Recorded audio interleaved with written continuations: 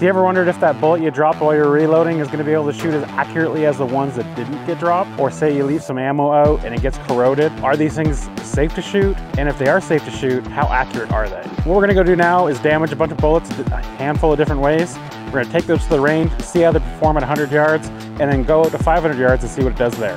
We are MDT. We design, test, and create precision rifle chassis and accessories to help you shoot better. What we're gonna go do now is damage a bunch of bullets a handful of different ways. First test we're gonna do is dropping a projectile from your bench, something that happens pretty regularly when you're reloading ammo. So one of the common things that happens when you are reloading, or sometimes when you happen when you are reloading, you might make a mistake and drop your box of bullets off your top and they hit the ground. Are those bullets still good? Well, we've got 10 bullets on the ground here. We're gonna collect those up and see what happens. Doesn't look too bad. I personally never pick up, I personally never use a bullet that I've dropped on the ground just because I, I just don't know how they're gonna perform downrange. So now we're gonna check that. So we have our corrosion aquarium here. It's set up with a tub of salt water and then a bubbler in there that goes and creates steam uh, and then causes the salt water to fall down onto the ammo and then we'll open up the container and let it sit for a few days and see what the corrosion does to this ammo and then see if we can shoot it. This one's don't look too bad. These ones are kind of gross. There's a film on there, but I think they'll be fine. They sat in that salt, in a salt fog, we'll call it, for about eight hours. And then we set, let them sit and oxidize over the weekend and stuff. But overall, nothing major, no major issues I can tell. So when you're reloading, you can run into some other issues that could be bullet damage or brass damage. One of the common ones I see or run into on a regular basis is having something stuck in your die, usually a piece of tumbling media that when you go to size it, you don't catch it and it puts a big dent in the side of your brass. Sometimes it will happen as well, say you are processing your brass and you drop it, maybe you put a, a little dent in the side of the actual case mouth. How is that going to affect your rounds downrange? Does that dent matter? Does that flat spot matter? What we're gonna do is test that. Okay, so we're gonna step up the damage on these bullets and I'm gonna put them in this case. I got 10 in here again, and I'm just gonna give these a really good shake, uh, say for like 30 seconds, and then uh, we'll take them and try and load them and see if it does any, if we can still group with these bullets. That makes me feel really bad. so I can't really like see any visual damage. They look pretty good. See how those like, can you get those like really, like little dimples, like compared to that one? Next one is I'm gonna take a punch to these. The next level damage isn't really a realistic scenario. Uh, I'm actually gonna go take a, a little punch here, uh, 116 punch and try and like put a, a dent kind of around the base uh, where the transitions to the boat tail. I've heard from other people saying that if you damage this area on a bullet, it's gonna fly all over the place. So we're gonna try and prove that. So one of the regular things we shoot off of when we're at matches is a C-can. You know, accidents can happen and you might drop your box off the edge or uh, somebody might kick your box of ammo off the edge. We're gonna see what that kind of damage does to your round. We're gonna drop it on cement here from, from this ladder in the shop and see what happens. Okay, so we're at our 100 yard spot. We have our, all our ammo loaded with the different damaged bullets and damaged brass, so on and so forth. Uh, we're gonna go and start our first group though with uh, undamaged rounds.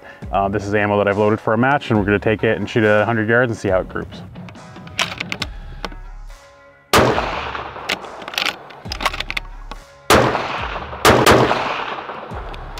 Shot the first control group and ends up being right around 0.4, which this gun usually averages with this ammo load. Then we did the dented shoulders. Went in the exact same spot. Basically no difference. Uh, they actually, the one group was tighter than the control group, so obviously you don't need to really worry about that. For the most part, it seems pretty safe to do. We then went and did the drop bolts from a bench, uh, like you do when you're reloading.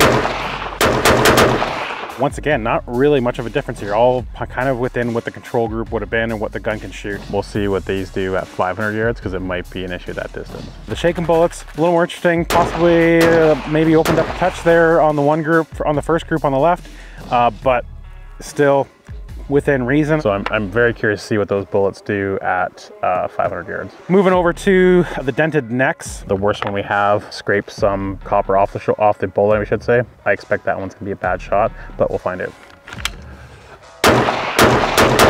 So this is the worst one. I actually took some jacket off. Stayed right in the group. This definitely showed a little bit of difference. In the one group, we had a little more elevation, but still overall, not a bad group at all. Moving into the hit with punch, heard about this in the past where, you know, if you have any damage in this area, you're definitely gonna see it downrange. Okay, that's not what I expected to see. Definitely saw a couple flyers leak out of this group on these ones, but that, that being said, still four of the five bullets were in a tiny little hole. So I'd say out of the 15 we dropped off the ladder, uh, we've got about five of them that are not great. Uh, the tips are definitely damaged. You can see like a bit of a, a kick in the uh, tip of them here, but we'll shoot a mix of these and see what happens once again, pretty darn close. So can't tell you if there was much of a difference on that one either. A couple other tests we came up that we wanted to try that we didn't film was actually taking some polymer bullets and cutting the tips off of them. And then also going and uh, taking a set of pliers and bending the tips over to see what that would do to them. Those ones definitely showed uh, the largest group increases uh, from the Bergers. I think the bigger issue with this is like that residue or that buildup of gunk on the outside and causing issues. Once again, they shot like I expected they would uh, with that corrosion even on them. Uh, they were right in the same size that gun usually shoots. To really see if this damage was gonna cause any issues, we have to shoot this at distance. And knowing that we're coming out here to 500 yards and we're gonna be shooting at 510 yards, 511 yards at a target. Uh, the target we have down there is a 10 inch target. It's gonna be a hit or miss situation. First group we're gonna shoot here at 500 is the control group with the Bergers.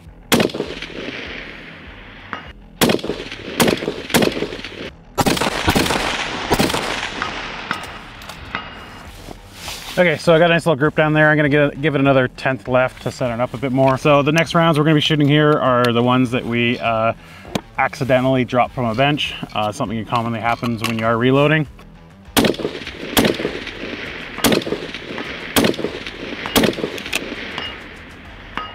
Kind of as expected with those just being dropped off the bench, they shot exactly where they should be. Okay, so next we're gonna do the, uh, the dented shoulders. Once again, something that happens when you are reloading. Um, you get a piece of uh, media on there and it dents your shoulder when you're reloading it.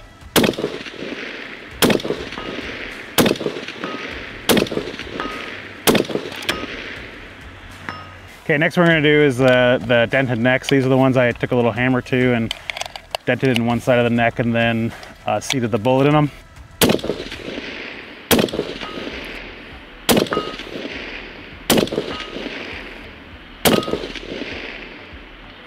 Actually much better than I expected they were gonna be. Okay, so the next one here at 500 we're gonna do is the uh, bullets we took and shook in a box for about 30 seconds or so. Um, like we showed you at the range. You can see little like micro dents almost or micro scratches in these. Uh, we'll see if this shows up at 500 yards. I'm curious to see.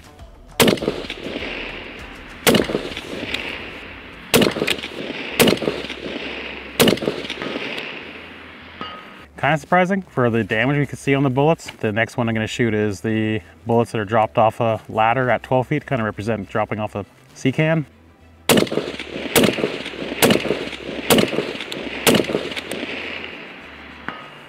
So all those rounds would have hit a one and a half MOA target likely. These are the ones we took a little punch to and kind of hit right around kind of the boat tail area of the bullet. Definitely gave a good dent or good scratch to them. Kind of curious to see what that does.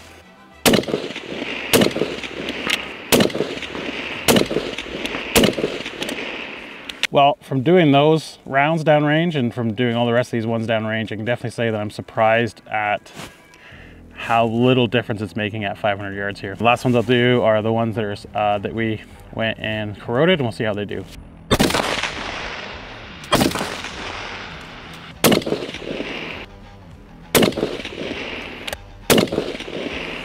So we just shot the corroded ones that we salted here and uh, they went right exactly where I expected them to go into the group.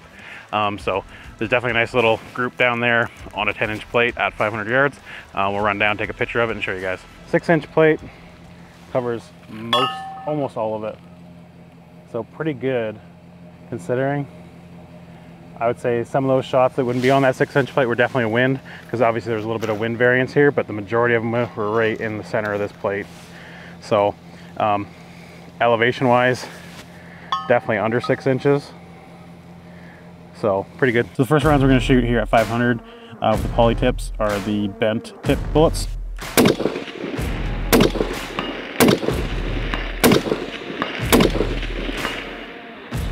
Definitely a little surprised by those. Shooting is not, well, I should say as well as he did, but definitely not as bad as I expected. So interesting let's see. Let's see what these ones with the broken off tips do.